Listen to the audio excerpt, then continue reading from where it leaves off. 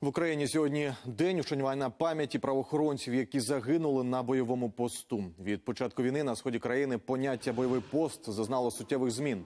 Лише цього року на пам'ятній дошці меморіалу загиблим працівникам органів внутрішніх справ додали 13 прізвищ. Сьогодні з ініціативи сина полеглого у зоні АТО бійця батальйону спецпризначення Донбас, нині курсанта поліцейської академії Олександра Єфіменка, на згадку про героїв запалили свічки.